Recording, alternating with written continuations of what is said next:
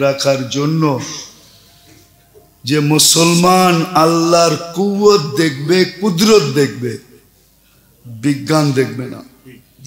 হ্যাঁ দেখবে।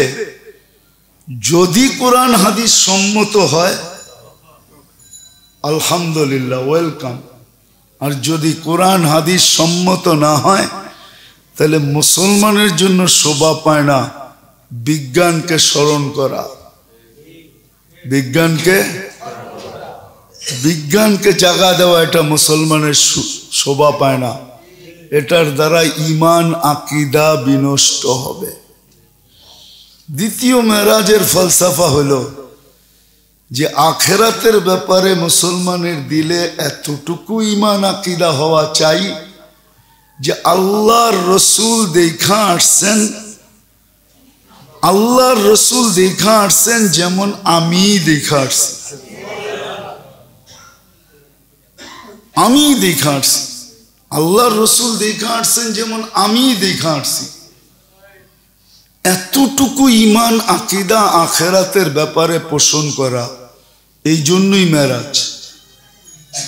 আরও অনেকগুলা কারণ আছে, যেই কারণে আল্লাহ মেরাজকে সংগঠিত করছেন।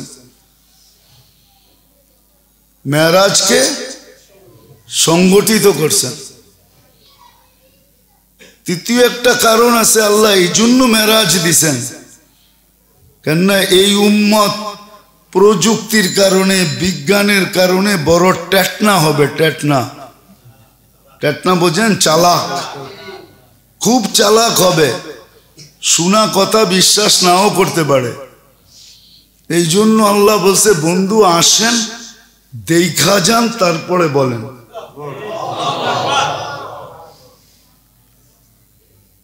চতুর্থ, আমাদের নবীজিকে আল্লাহ উচ্চ মর্যাদা দেওয়ার জন্য মেরাজ। যে শব্দটা হাদিসে আছে, যে সমস্ত নবীরা শুনা বলছেন, নবীগুল মুসাহেদা যে সর্বকিছু আল্লাহর জাত থেকে নিয়া আল্লাহর সমগ্র সৃষ্টি, চোখে দেখার কোনো ব্যক্তিত্ব যদি থাকে, তো উনি একজন আমাদের নবীজি মুহাম্মাদুর রসুল্লাহ সাল্লাহু আলাইহি ওয়াসাল্লাম। নবীউল মুসাহেদা বলা হয় ওনাকে।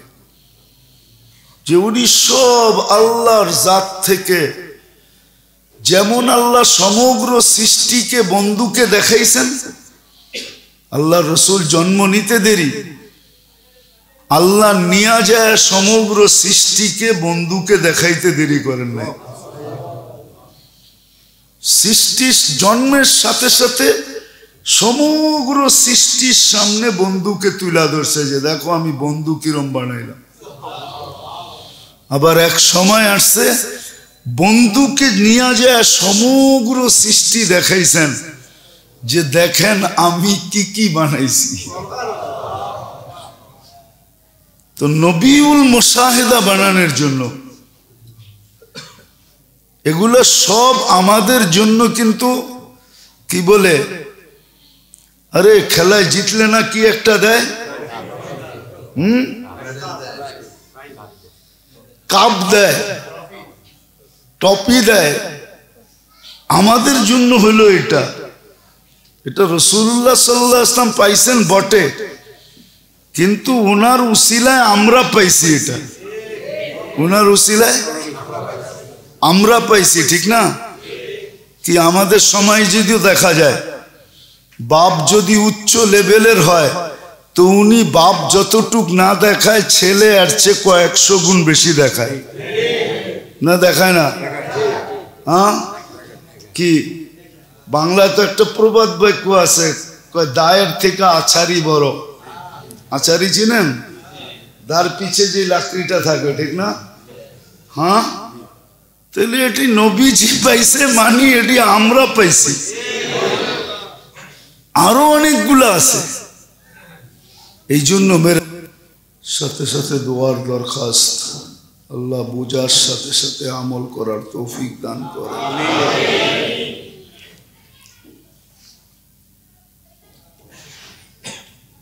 মানুষের জীবনে সবচেয়ে বড় জিনিস হল ইমান আকিদাকে ঠিক করা।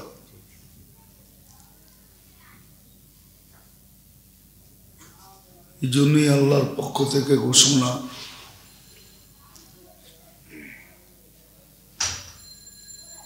ইমান যতটুকুই হোক, ইমানেরও মাত্রা আছে।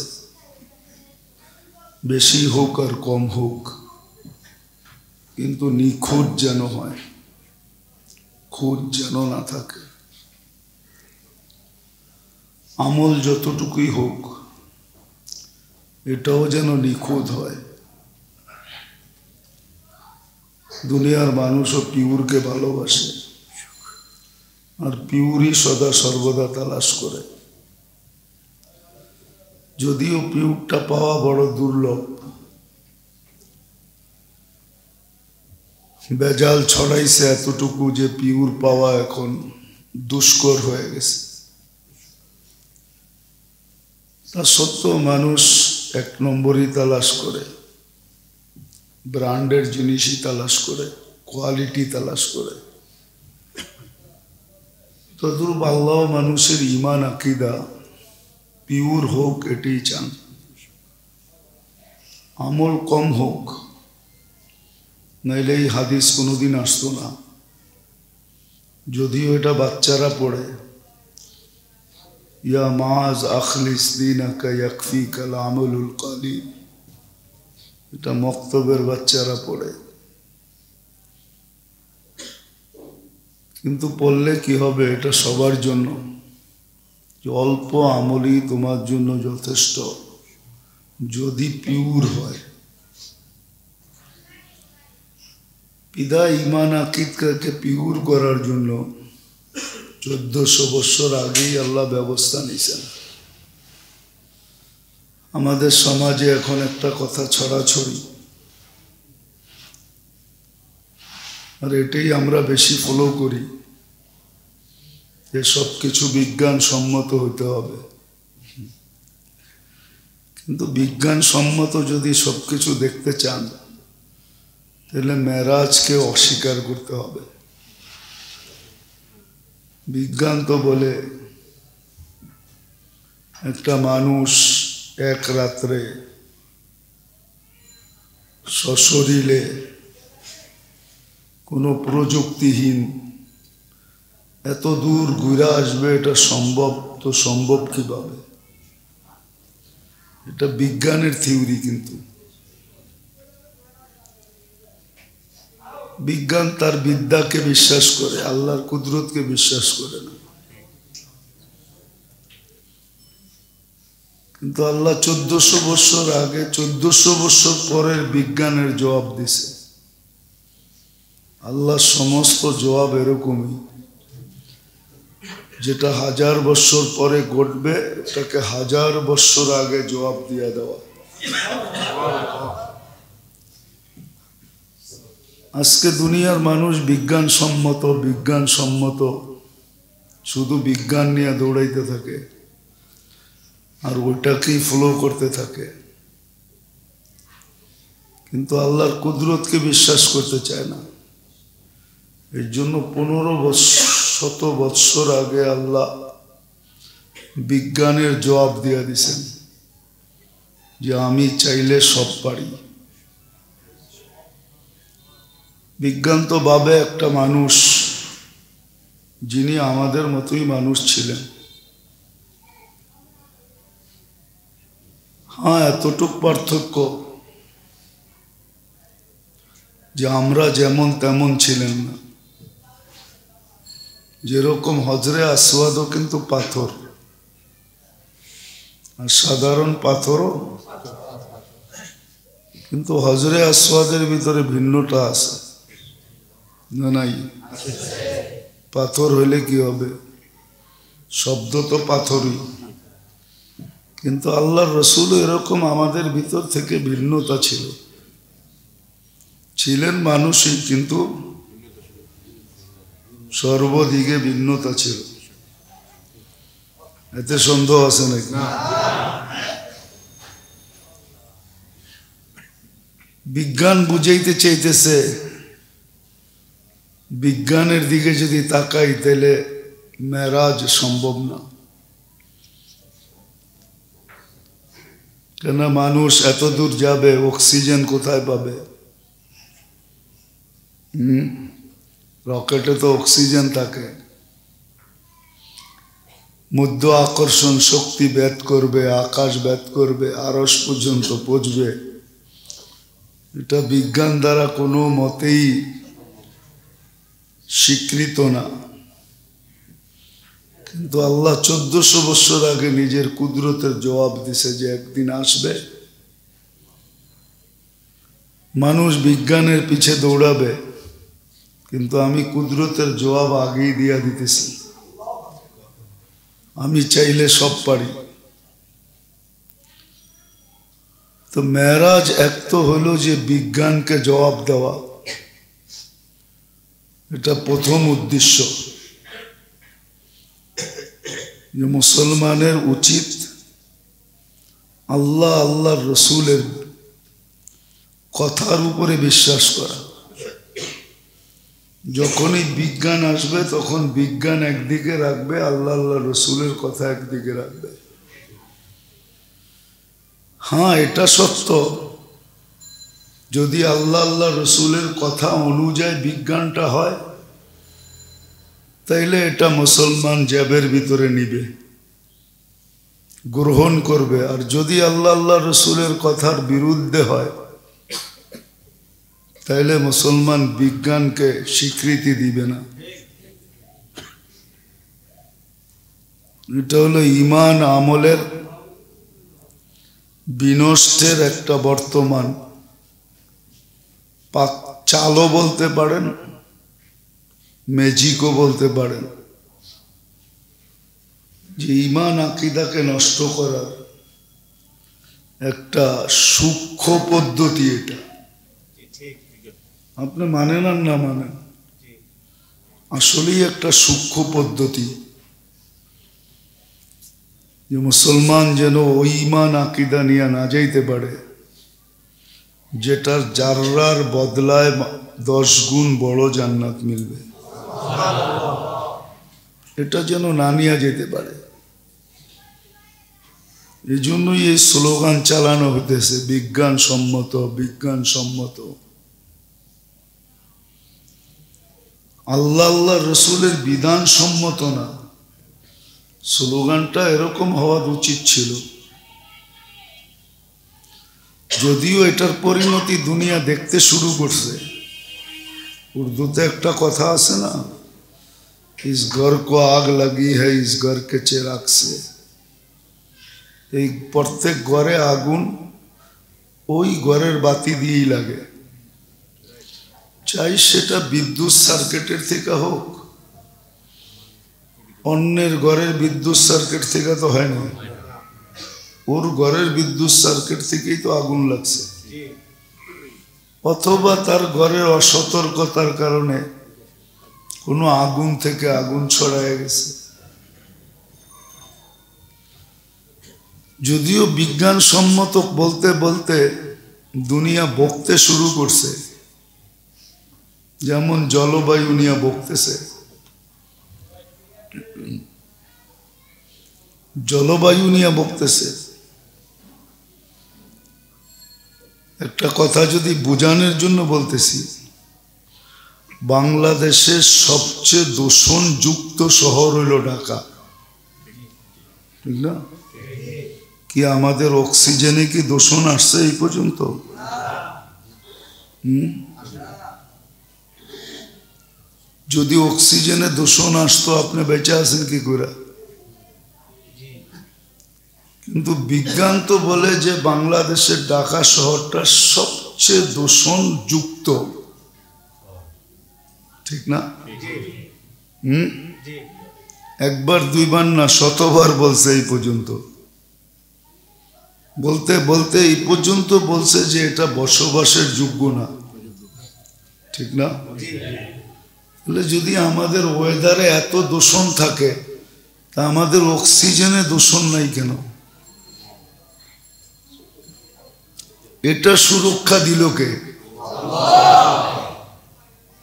তো বিজ্ঞান সম্মতই যদি হইতো, তাহলে তো বিজ্ঞান দিয়া বোঝা গেলে এটাই বোঝা যাওয়া উচিত যে আমাদের অক্সিজেনও দূষণ হয়ে গেছে। হুম? তাহলে ঢাকাবাসীর সবার এক একটা সিলিন্ডার কিনা বুক পিঠে বান্দা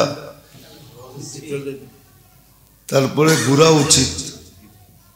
কি বলেন? যুক্তি তো এটাই বলে।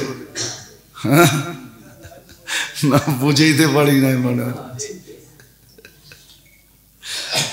তাহলে এই যে দূষণযুক্ত শহরটায় আপনি পিওর অক্সিজেন সারাদিন করতে নিতেছেন।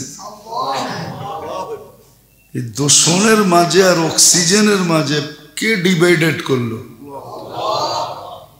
অক্সিজেনকে কিন্তু আল্লাহ দূষণ যুক্ত হতে দেয় নাই। এখানেও কিন্তু আল্লাহ নিজের কুদরতকে দেখাইতেছে যে তোমাদের শহর যতই দূষণযুক্ত হোক, ঢাকার চেয়ে সবচেয়ে দূষণযুক্ত শহর হলো ক্যালকাটা ঠিক না? কি পেপার খোলেন?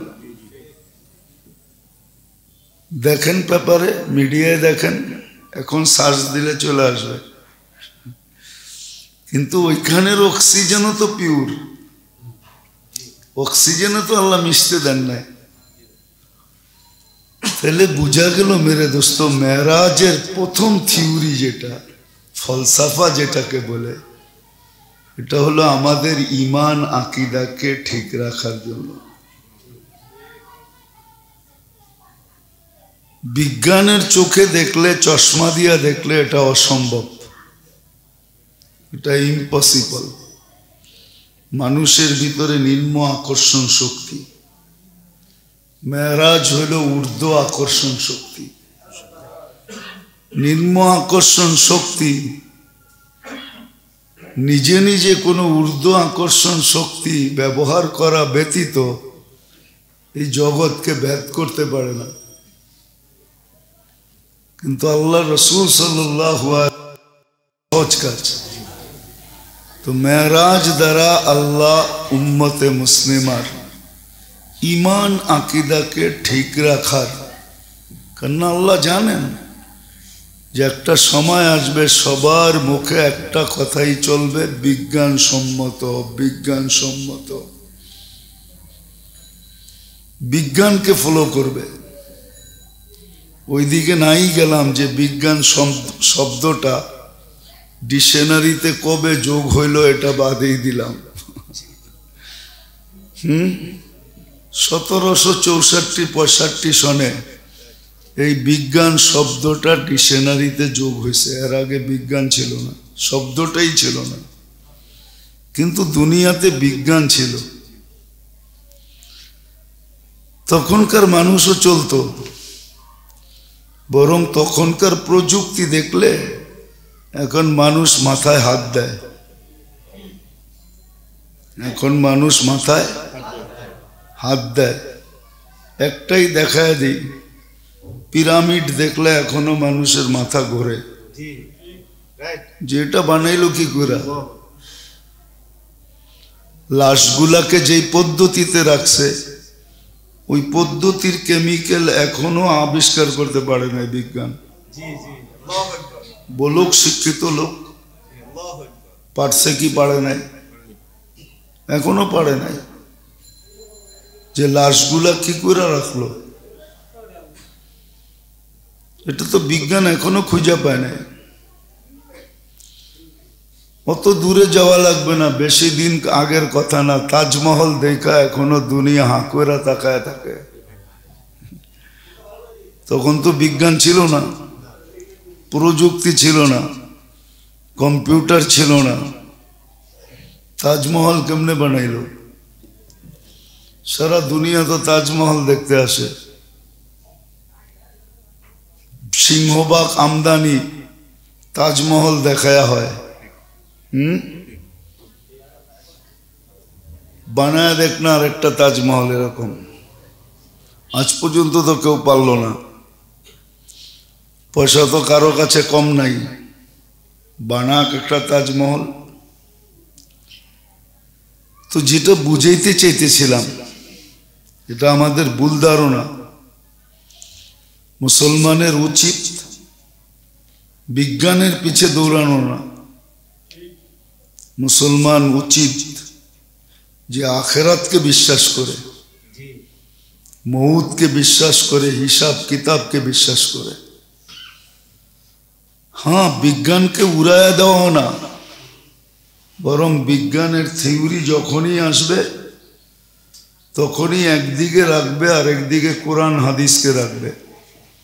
কোরআন, হাদিস সম্মত যদি হয়, তাইলে ওকে। আর কোরআন, হাদিস সম্মত যদি না হয় তাহলে মুসলমানের এটা গ্রহণ করা উচিত না। কেননা ইমান, আকিদা বড় জিনিস। এটাই বড় জিনিস। হার্ড ডিস্কের মতো। কম্পিউটারের ভিতরে হার্ড ডিস্ক থাকে না, এটা নষ্ট হলে আর কোনোভাবে কম্পিউটারকে চালানো যায় না। সব পার্টস ঠিক আছে, কিন্তু হার্ড ডিস্ক নষ্ট হয়ে গেছে। তাইলে যেরকম এটা আর সচল না, অচল। মানুষের ভিতর থেকে যেরকম রুহু বাহির হয়ে গেলে, সব অঙ্গ প্রত্যঙ্গ কিন্তু তার জায়গায় আছে। কিন্তু এটাকে যেরকম লাশ বলা হয়, ইমান আকিদা যদি বিনষ্ট হলো, তাহলে ওই মানুষটার সব কিছু হাতের থেকে বাহির হয়ে গেল। সে আর জান্নাতে যাওয়ার উপযোগী না।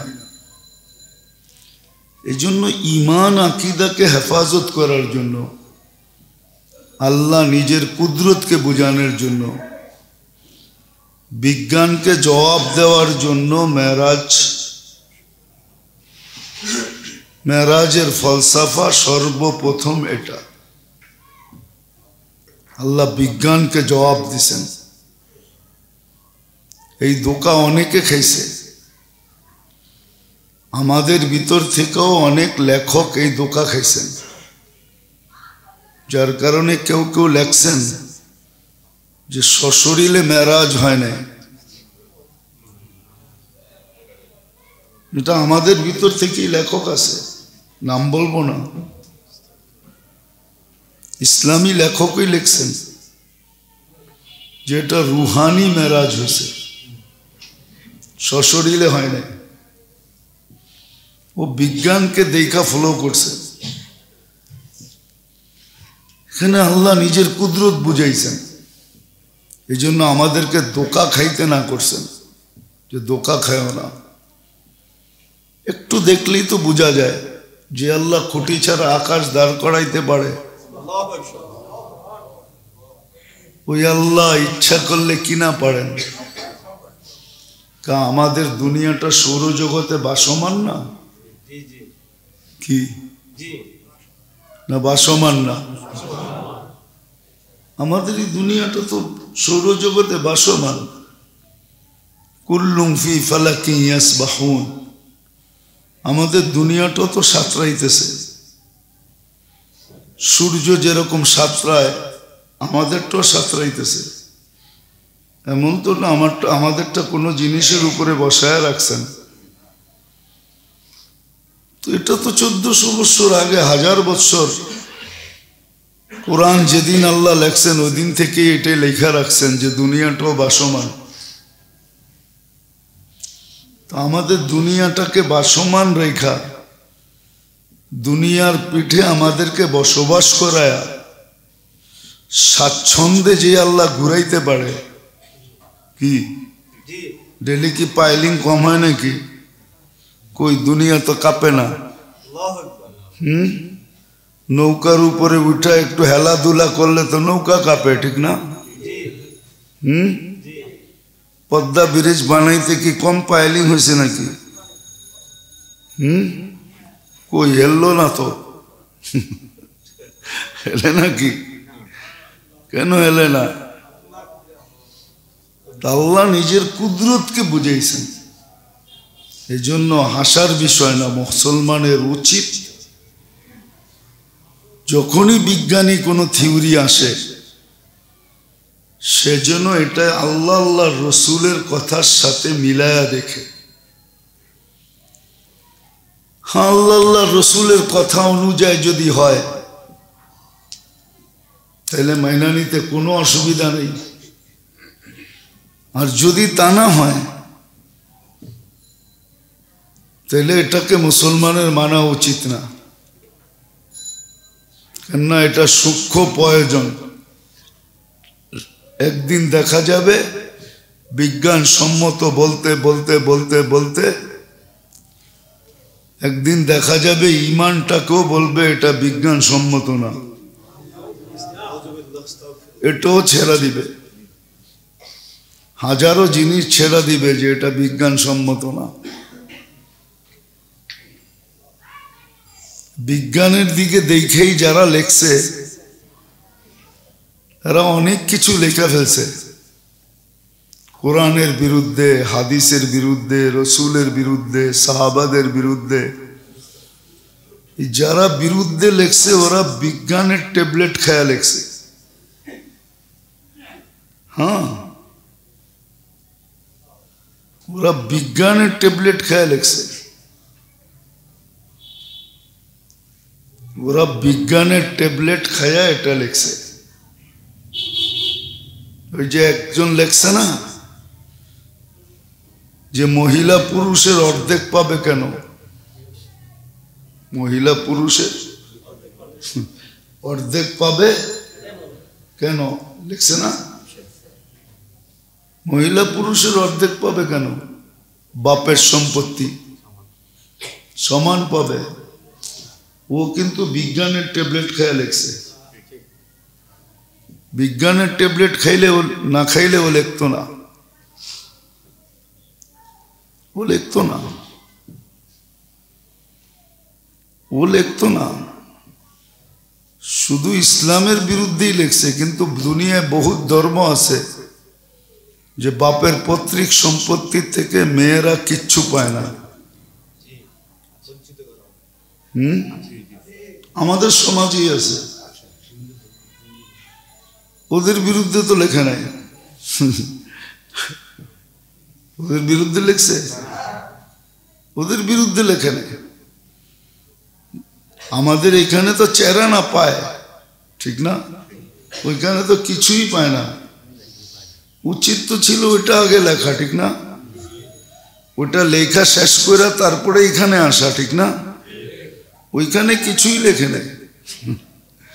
আয়সা ধরছে এইখানে। কেননা বিজ্ঞানের ট্যাবলেট ওইখানে কাজ করে না। শুধু এইখানে কাজ করে। এই জন্য এইখানে আঙ্গুল দিছে। হুম?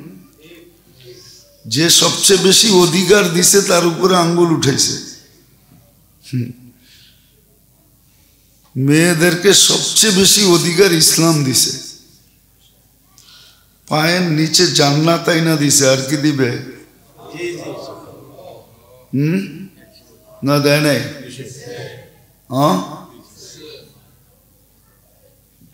স্বামীর সাক্ষীতে স্ত্রী জান্নাতে যাবে। আবার স্ত্রী যেই স্বামীকে লেখা দিবে, আমার স্বামী খুব ভালো। আল্লাহ বলে, ঠিক আছে, আমিও মেনা নিলাম, খুব ভালো। আর কি মর্যাদা দিবে? এত বড় মর্যাদা কোন ধর্মে দিছে? ইতিহাস তো আপনারা পড়েন না। হুম? আমরা তো ইতিহাস পড়ছি, পড়তেছি, পড়ি। আমরা জানি কোন ধর্মে কি দিছে। ওটা খুলতে গেলে বৎসরের পর বৎসর লাগবে, সিরিয়াল ধরে নিয়ে আসতে হবে। সিরিয়াল ধরে নিয়ে আসতে হবে। যে কোন ধর্মে কি দিছে? যাকে, এটা আলোচ্য বিষয় না, কটাক্ষ না, বোঝানোর জন্য। মেরাজের প্রথম ফলসাফা হইল, ইমান আকিদাকে ঠিক করা। শুধু বিজ্ঞান বিজ্ঞান না বলা। যখনই বিজ্ঞান কিছু বলে, তখনই কোরআন হাদিসকে সামনে রেখা দেখা উচিত মুসলমানের যেটা কোরআন, হাদিস সম্মত কিনা। মেরাজ বিজ্ঞানের বহুত বড় জবাব দিছে। যেটা পর্যালোচনা করলে অনেক অনেক সময় লাগবে। যে মেরাজ বিজ্ঞানের কত বড় জবাব দিয়া দিছে। কিন্তু আগেও বলছি এই বিজ্ঞান বিজ্ঞান বলতে বলতে আমরা ডুবব। দুনিয়া ডুবার দ্বার প্রান্তে, এটা এখন বিজ্ঞানীরাও বলে। ওরাও বলতেছে যে দুনিয়া এখন ধ্বংসের দ্বার প্রান্তে চলে গেছে। ধ্বংসের দ্বার প্রান্তে, একবারে ধ্বংসের দ্বার প্রান্তে চলে গেছে। আল্লাহ রসুলের কথা সত্য হইতে শুরু করছে। যে এমন এমন ব্যাধি আসবে যে চিকিৎসার সুযোগ দিবে না, নামকরণ করারও সুযোগ দিবে না। শুরু হয়ে গেছে কিন্তু ইদানি। সকালে জ্বর ওঠে বিকালে মারা যায়। ঢাকা শহরে ব্যাপকভাবে হইতেছে। সকালে জ্বর ওঠে, বিকালে শেষ।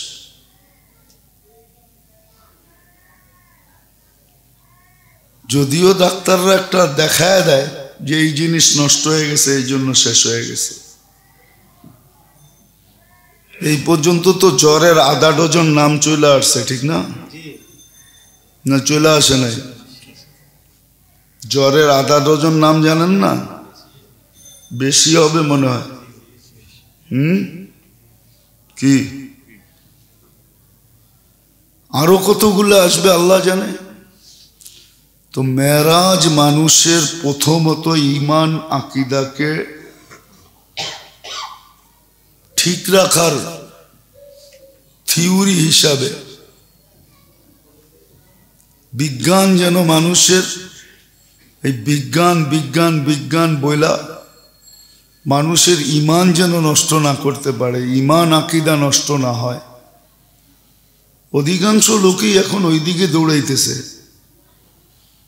বেশিরভাগ যাদের এই জালে পা দেওয়া উচিত ছিল না, এরাই বেশি দিতেছে। শিক্ষা তো আলো, এখন দেখি বাত্তির নিচেই অন্ধকার। শিক্ষিত লোকগুলোই বেশি এই ফাঁদে পা দিতেছে। অশিক্ষিত লোকগুলা তো বোঝে না। এরা এগুলা নিয়ে ভাবেও না। ওই আগের রীতিনীতির উপরেই চলতেছে। এই দিকেও দেখা যাইতেছে যে আল্লাহ সাধারণকে বাঁচায় দিবে বেশি। সাধারণকে বাঁচায় দিবে বেশি। আর যারা বেশি শিক্ষা শিক্ষা শিক্ষা করতে থাকে, ওরাই বেশি এই ফাঁদে পা দিতেছে। তো প্রথমত তো মেরাজ এটার জন্য ছিল।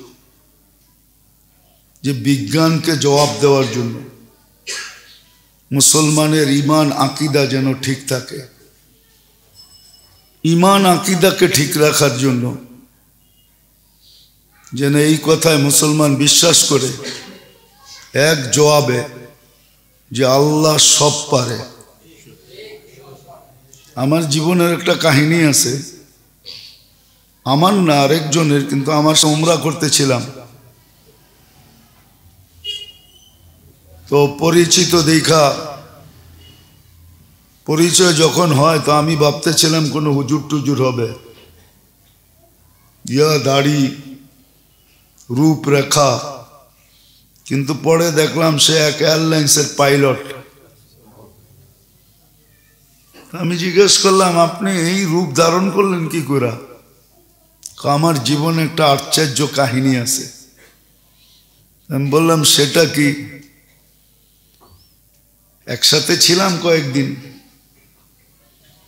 তো বলতেছে, আমি ফ্লাইট নিয়ে লন্ডন যেতেছিলাম আমার ফ্লাইট ছিল করাচি টু লন্ডন হেত্র সব ভালো ভালো চলতেছিল। যখন আমি হেত্রর সীমানায় ঢুকে গেছি ইংল্যান্ডের, এর আগে কিন্তু চেকিং করে সব। ল্যান্ডিং এর এক ঘণ্টা, দেড় ঘণ্টা আগে সব চেক করে, সব ঠিক আছে কিনা। তো বলে যে, আমি চেক করে দেখলাম যে আমার চাক্কা নামবে না।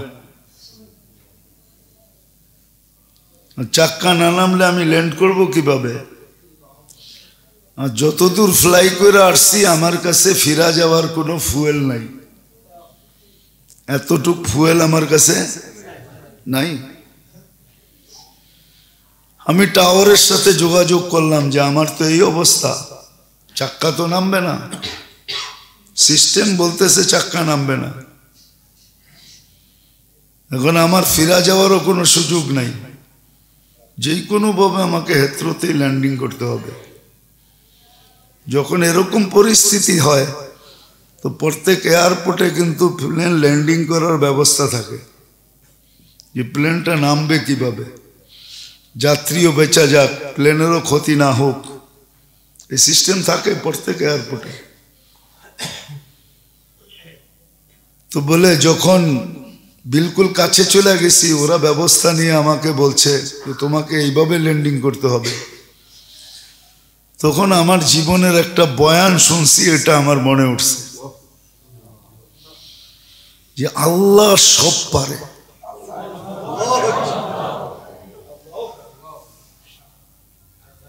না, তখন আমার সামনে দুটা জিনিসই ছিল মৌদ বাঁচা। যদি ওইভাবে ল্যান্ডিং না হইল, তাহলে তো ক্রাশ হবে। মরে যাব। এতগুলো যাত্রী মরবে। তা আমি বললাম যে, ঠিক আছে, আল্লাহ সব পারে। আমি এটা একটু পরীক্ষা করে দেখি না।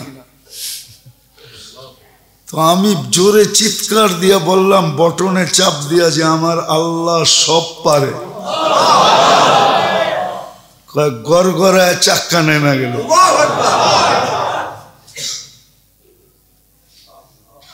আমি অন্য রানওয়েতে যেই রানওয়ে আমার জন্য ছিল, ব্যবস্থাপনা, ওটা বাদ দিয়া স্বাভাবিক রানওয়েতে আমি নেমে গেলাম।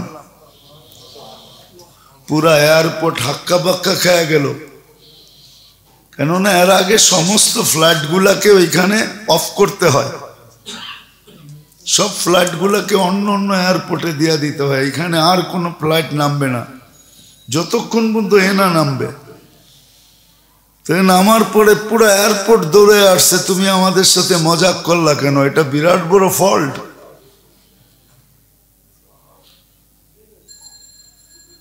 তা আমি বললাম যে, তোমরা চেক করে দেখো। তো ওরা চেক করে দেখে যে, আসলেই সিস্টেম লস সিস্টেম নষ্ট। তোরা জিজ্ঞেস করছে, তোমার চাক্কা নামলো কি করে বলে, আমি আরেকটা চিৎকার দিলাম ইংলিশে যে আমার আল্লাহ সব পারে।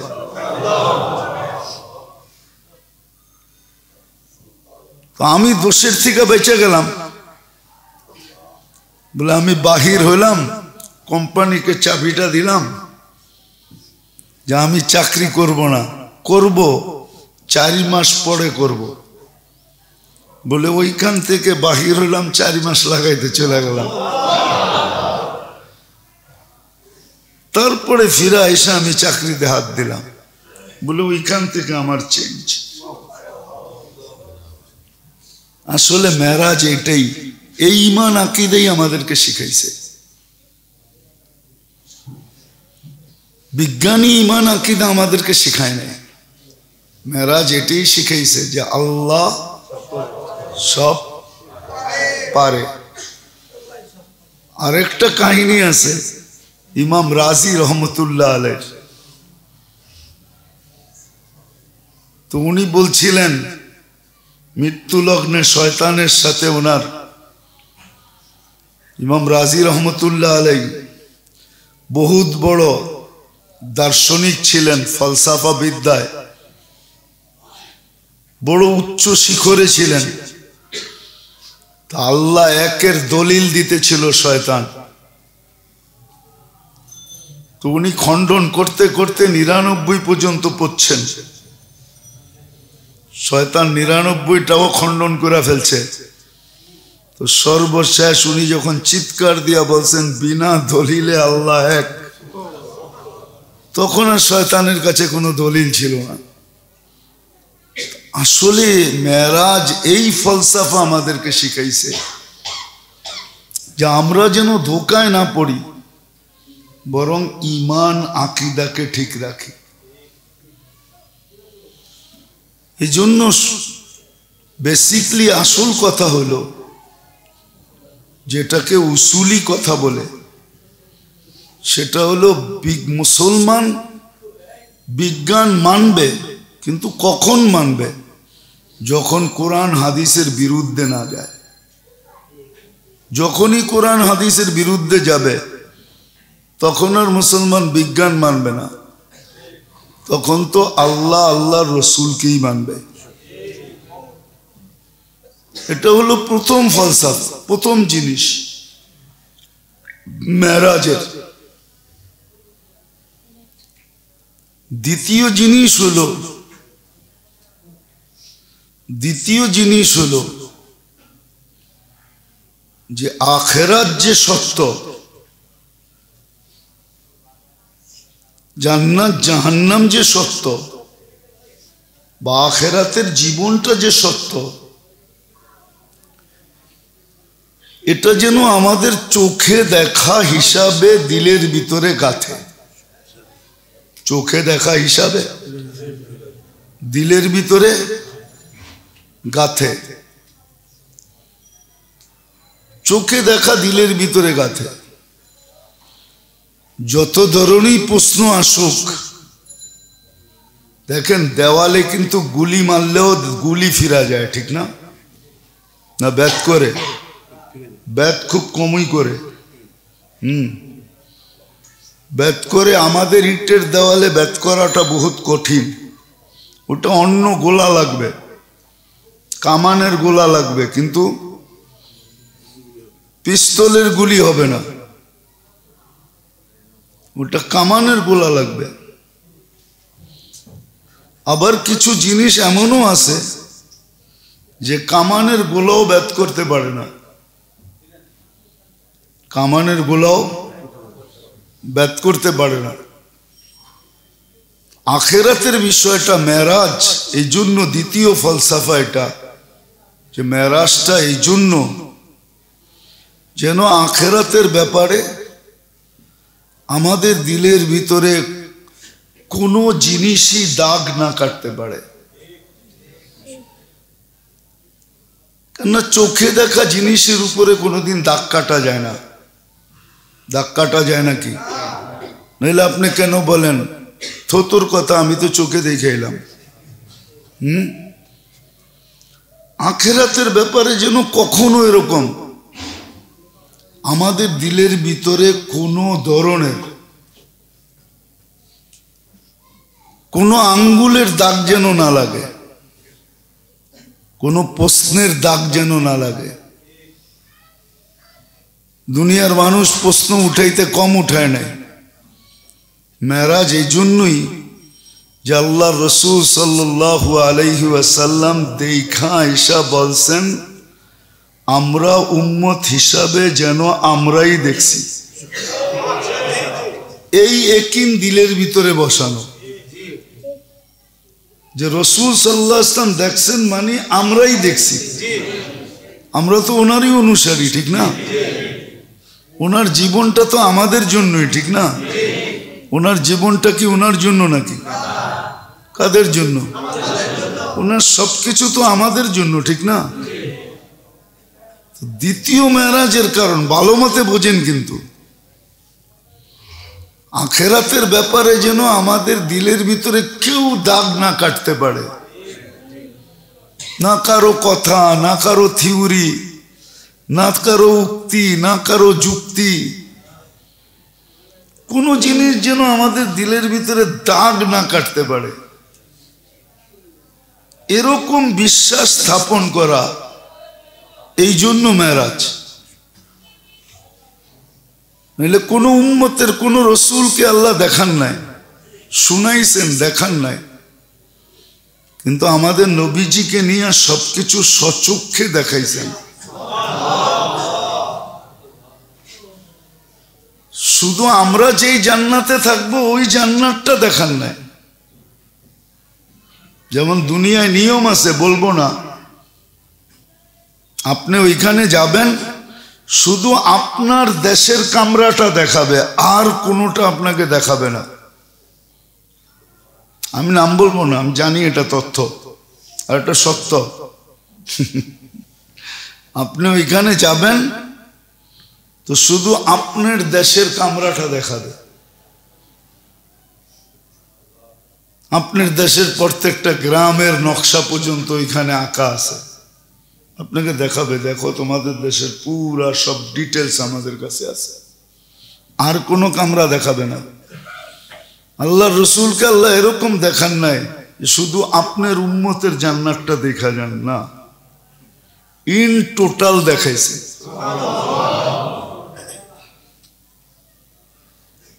কোনো কিছু বাদ রাখেন নাই।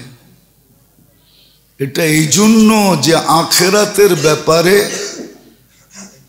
আমরা যেন এই কথা বলি যে নবীজি দেখে নাই, নবীজি দেখছেন যেমন নাকি আমরাই দেখছি।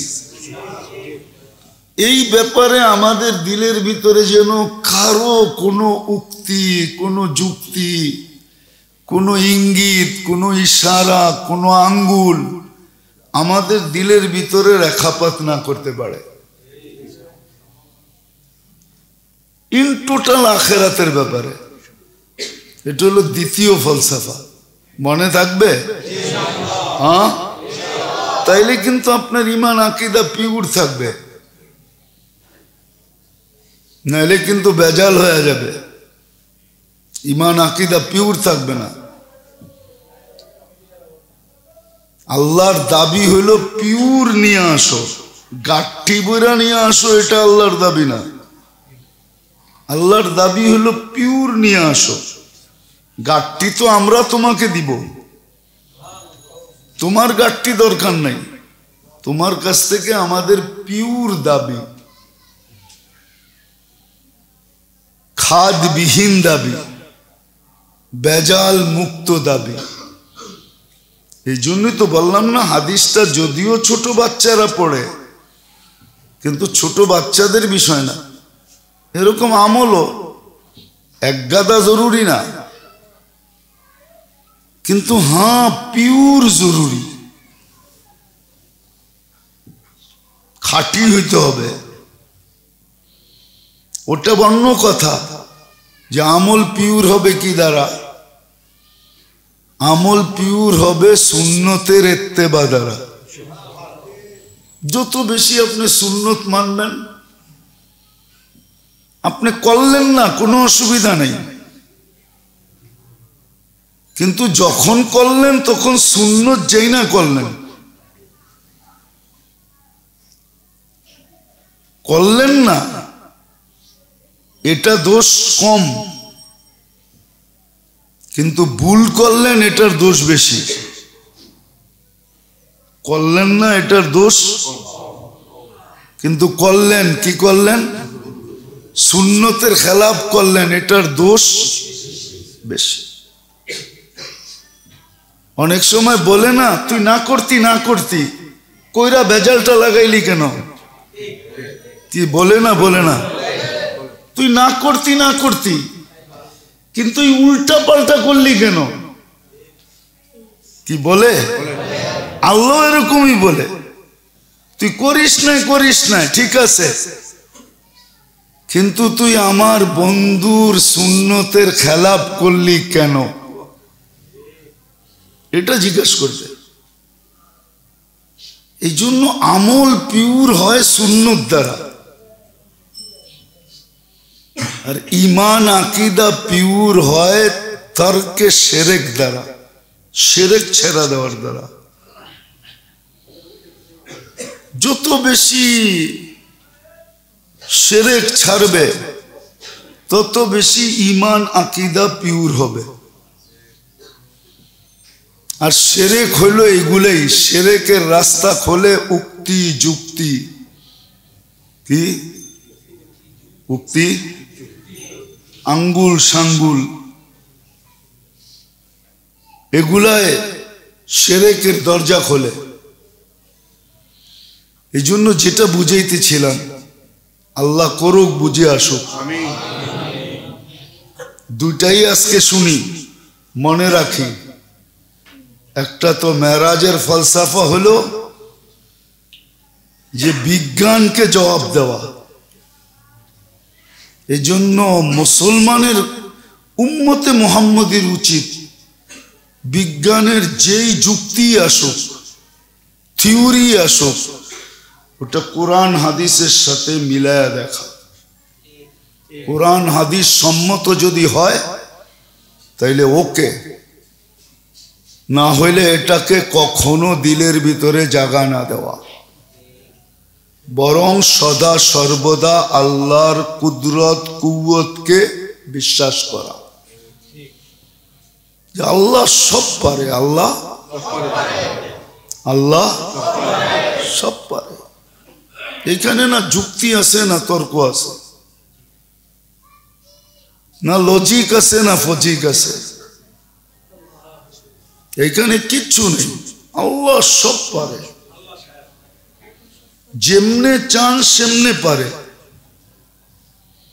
নাহলে আপনি বিজ্ঞানকে আল্লাহ জবাব দিছে, আপনি বলেন মুসা আলাহ ইসলামকে যেইখান দিয়া পার করছে, ওই চিহ্ন তো এখনও রাখা আছে। পানিকে দুই পাশে দাঁড় করাইয়া দিছে, মধ্যখান দিয়া রাস্তা করে দিছে। আবার বাদ সূর্যের আলো আসার জন্য উপর থেকে লাইটিং এর সিস্টেম করে দিছে। আচ্ছা এটা তো একটু যুক্তিতে ধরে যে এটা তলদেশ দিয়ে গেছে, ঠিক না? এটা কোন যুক্তিতে ধরে? যে পানি পানি ছিল। পানিও তো জানতো না, এর আগে মনে হয়। যে আমার উপর দিয়া কেউ ঘোড়া দৌড়ায়া যাবে, আর ওর খুরের ভিতরেও আমার ছোঁয়া লাগবে না। আমি পানি পানি থাকব, তরঙ্গ তরঙ্গ থাকবে। তারপরে ঘোড়া দৌড়ায়া যাবে। আধা কিলোমিটার না, সাতাশ কিলোমিটার। ওই চিহ্ন তো এখনও বাহারাইনে রাখা আছে। ও তো পানিও জানতো না। আগুন কি জানতো নাকি যে আমার ভিতরে আসবে আর জ্বলবে না? ওটা তো আগুন ওই দিন জানছে যেদিন ইব্রাহিম আল ইসলাম ভিতরে গেছে। এর আগে আগুনও তো জানতো না যে আমার ভিতরে আসবে আর কি করবে? জ্বলবে না। ওটা আগুনেরও জানা ছিল না। তো এরকম বিজ্ঞানের জবাব আল্লাহ শত দিছেন। আমাদের ইমান আকিদাকে ঠিক রাখার জন্য। বিদায় মেরাজের প্রথম ফলসাফা এটা। যে মুসলমান যেন বিজ্ঞানের তুফানে বাইসা না যায়। বরং প্রথম দেখে যে এটা কোরআন, হাদিস মতো কিনা, সম্মত কিনা। যখন সম্মত হয়, আপনি বোঝেন করুণার সময়, যুক্তিগত কথা বলেন আচ্ছা বাইতুল্লাহটা কি দিয়া বানানো? পাথর দিয়া, ঠিক না? হুম? করুণার সময়ের থেকে নিয়ে দুই আড়াই বছর এটাকে ডাইকা রাখছে না? ছুঁইতে পর্যন্ত দেয় না ঠিক না? কোন যুক্তিতে?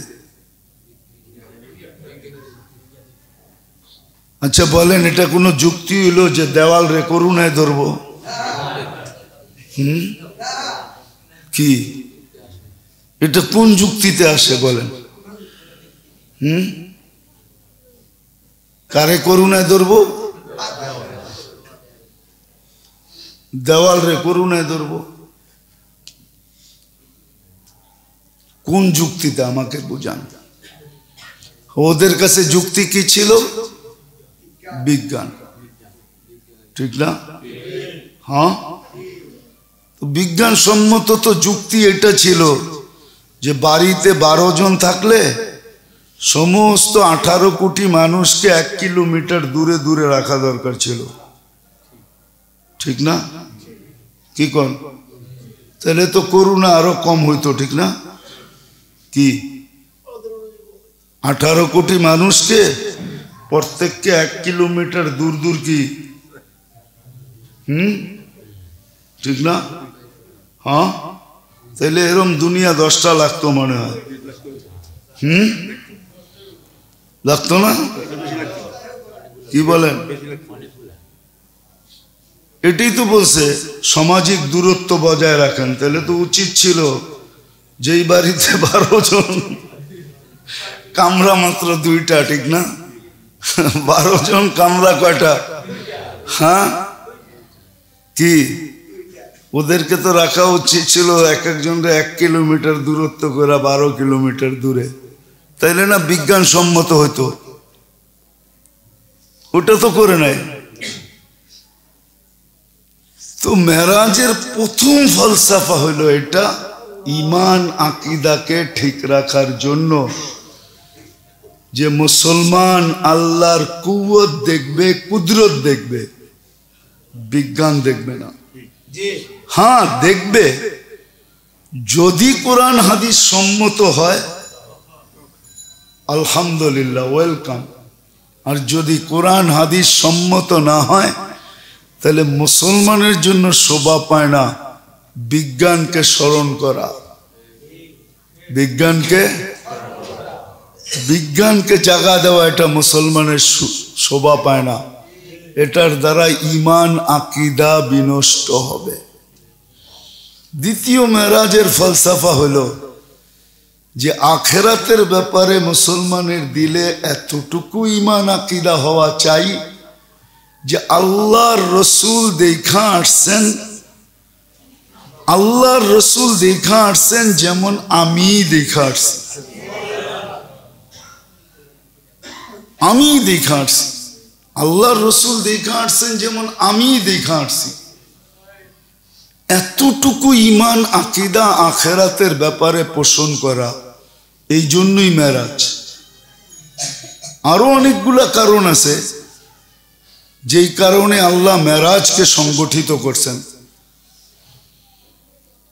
মেরাজকে সংগঠিত করছেন।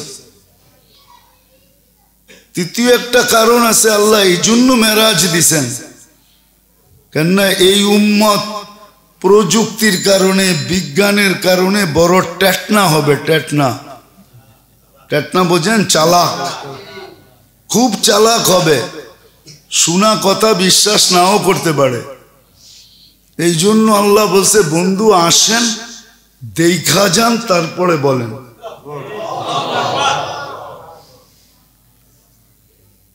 চতুর্থ, আমাদের নবীজিকে আল্লাহ উচ্চ মর্যাদা দেওয়ার জন্য মেরাজ।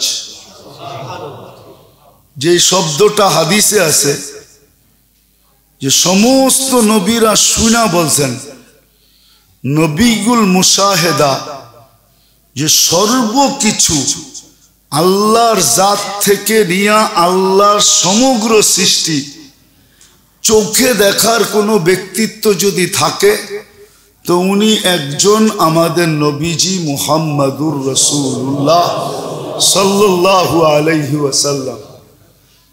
নবীউল মুসাহেদা বলা হয় ওনাকে। যে উনি সব আল্লাহর জাত থেকে যেমন আল্লাহ সমগ্র সৃষ্টিকে বন্ধুকে দেখাইছেন, আল্লাহ রসুল জন্ম নিতে দেরি, আল্লাহ নিয়া যায় সমগ্র সৃষ্টিকে বন্ধুকে দেখাইতে দেরি করেন নাই। সৃষ্টির জন্মের সাথে সাথে সমগ্র সৃষ্টির সামনে বন্ধুকে তুলা ধরছে যে দেখো আমি বন্ধু কিরম বানাইলাম। আবার এক সময় আসছে, বন্ধুকে নিয়ে যায় সমগ্র সৃষ্টি দেখাইছেন, যে দেখেন আমি কি কি বানাইছি। তো নবীউল মোশাহেদা বানানোর জন্য, এগুলো সব আমাদের জন্য কিন্তু, কি বলে, আরে খেলায় জিতলে না কি একটা দেয়? হুম? কাপ দেয়, টপি দেয়। আমাদের জন্য হলো এটা। এটা রসুল্লাহ সাল্লাহ আসলাম পাইছেন বটে। কিন্তু ওনার উসিলায় আমরা পাইছি এটা। ওনার উসিলায় আমরা পাইছি, ঠিক না? কি আমাদের সময় যদিও দেখা যায়, বাপ যদি উচ্চ লেভেলের হয় তো উনি বাপ যতটুক না দেখায়, ছেলে আর চেয়ে কয়েকশো গুণ বেশি দেখায়। না দেখায় না? হ্যাঁ? কি? বাংলায় তো একটা প্রবাদ বাক্য আছে দায়ের থেকে আছারি বড়। আছারি চিনেন? তার পিছে যে লাকড়িটা থাকে, ঠিক না? হ্যাঁ? তাহলে এটি নবীজি পাইছে, মানি এটি আমরা পাইছি। আরও অনেকগুলো আছে। এই জন্য মেরে দোস্ত, দুটা মৌলিক কথা মনে রাখি। যাতে ইমান আকিদার ভিতরে কোনো দাগ না আসে। কোনো আঙ্গুলকে আমরা জাগা না দিই। কোনো উক্তি, যুক্তিকে আমরা জাগা না দিই। কেননা আখেরাত বড় মাসলা। আখেরাত বড় সমস্যা। প্রত্যেকের জন্য আখেরাত বড় মাসলা। না গেলে বুঝে আসবে না। বুঝাইতে তো চেষ্টা করতেছি, কিন্তু আজকে বুঝে আসে না, একদিন বুঝে অবশ্যই আসবে। কিন্তু ওই দিন মাথার থেকে পানি গড়ায়া যাবে, কোনো লাভ হবে না। কিন্তু আজকে বুঝা যদি ধরে রাখতে পারি, রব্বে কাবার কসম। ইমান যদি নিখুঁত হলো, তা আল্লাহর ওয়াদা আছে ইমান নিখুঁত আল্লাহর দুটা ওয়াদা আছে। একটা হলো যদি তোমার মাপ চাওয়ার সুযোগ হয়, আর তুমি মাপ চাইলা, তাইলে আমরা তোমার গুনার পরিমাণের দিকে দেখব না। তোমার গুনার পরিমাণের দিকে দেখব না। কি কি গুণা এটা দেখব না, আমরা মাফ করে দেব। লাউ বালাগাত যুনুবুকা ইনানা সামা ওয়া মা আশরাকতা বি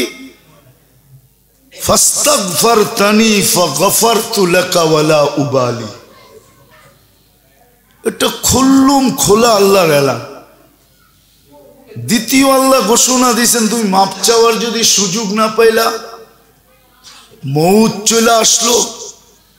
তো এটাও ঘোষণা দিতেছেন, কবরে লাশ রাখার আগেই দ্বিগুণ মাগফেরাত নিয়ে তোমাকে স্বাগত জানাব। গুনার চেয়ে দ্বিগুণ মাগফেরাত। লাউ আতাইতানি বি কুরাবিল আরদি খাতায়া ওমা আশরাকতা বি, লা আতাইতুকা বি কুরাবিহা মাগফিরা। এই জন্য সূক্ষ্ম পলিসির মাধ্যমে, বিলকুল সূক্ষ্মভাবে আমাদের ইমান আকিদাকে নষ্ট করার জন্য আপনাদেরকে আমি বুঝাইতে পারতেছি না। চোখে দেখা অনেক কিছু বোঝানো যায় না। দুনিয়াটা ঘুরছি তো, অনেক কিছু চোখে দেখছি। যেগুলার জাগার নাম বলা যাবে না, কিন্তু এতটুক বলা যাবে যে আমি দুনিয়ার বহুত জায়গায় দেখছি। আমি ওই ক্ষেত্রগুলো চিনি। একজন না, দুইজন না, শত শত মানুষ চব্বিশ ঘণ্টা ওদের ডিউটি হলো, কাজ হলো। ওরা এই প্ল্যানই বাহির করবে বসা বসা। এটার জন্যই ওদের স্যালারি। এটার জন্যই ওদের সব কিছু কোনো ছোট ছোট স্যালারি না, মোটা মোটা স্যালারি।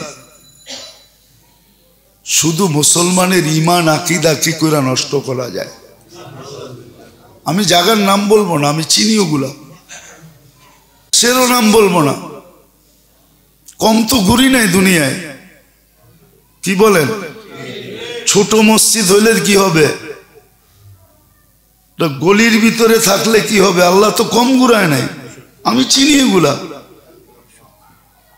আমি নাম সহ বলতে পারব, কোন জায়গায় দেখে আসছি আমি? ওদের সারা দিন চব্বিশ ঘণ্টা শত শত লোক মাথা কামাইতেছে।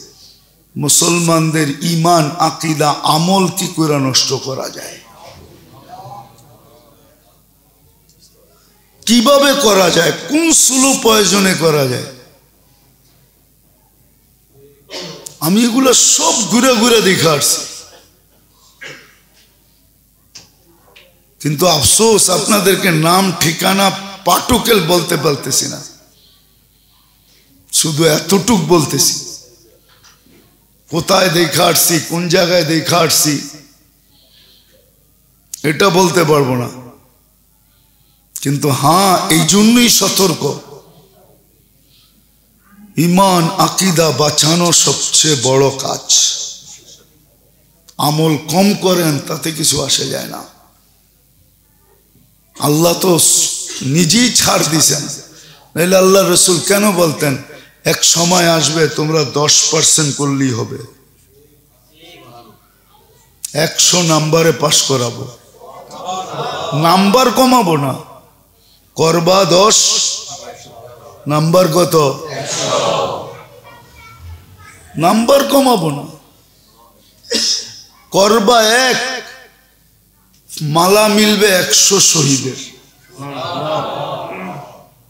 এই জন্যই আল্লাহ এই সুযোগগুলা দিয়ে রাখছেন। এই জন্যই বলছে, আমল কম করো। কিন্তু পিওর করো, সুন্নত মতে করো। সুন্নতের বিরুদ্ধে যেন হয় না। সুন্নতের খেলাফ হলো। ভাবতেছো যে এটার সুন্নত আমি জানি না। করো না এটা। না করাটা এত বড় দোষ হবে না। করাটা সুন্নতের খেলাপ করা যত বড় দোষ হবে। যেমন একটু আগেই বললাম, তুই করতি না করতি না, কইরা প্যাচ লাগাইলি কেন? ঠিক না? এটা তো আমাদের সমাজের প্রবাদ, আমাদের সমাজের নিয়ম। বিদায়, যতটুকু বললাম, এতটুকু মনে রাখার আল্লাহ আমাদেরকে তৌফিক নসিব করে।